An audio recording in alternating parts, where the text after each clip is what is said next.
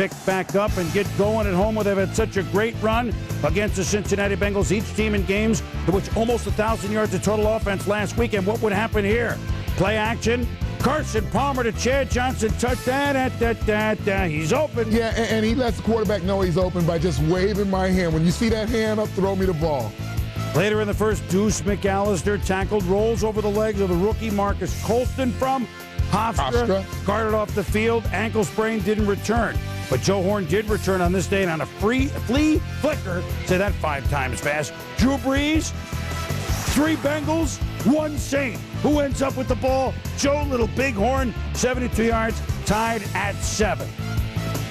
Brees feeling it would have big numbers, except when he got down close to the end zone. Brees to Devery Henderson, 44 yards inside the 10. But the big plays made by the much maligned Bengal defense as Brees looks at the end zone and Madieu, you've done it again. Madieu Williams takes it out of the end zone. Big turnover Saints. 10-7 Bengals. Minute to go in the half. Brees looking for the lead. Devery Henderson inside the 20. Second and goal, same drive. Brees to the end zone. Certainly he wouldn't have a miscue.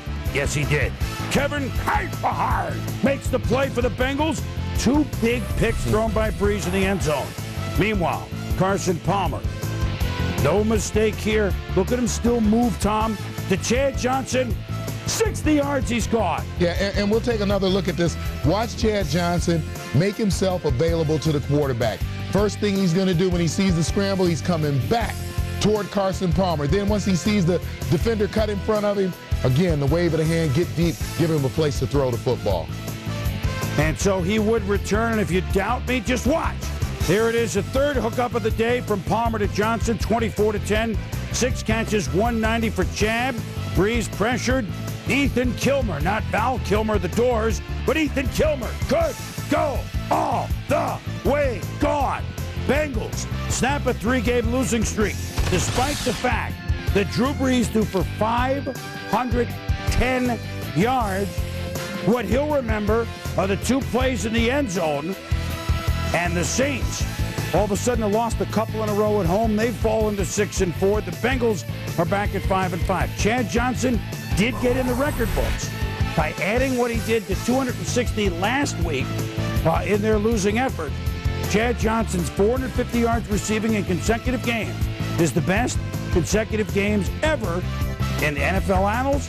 Of the mark to John Taylor and Jerry Rice. And you know those two were blocking for each other when that mm-hmm. happened back in 89 and 1990.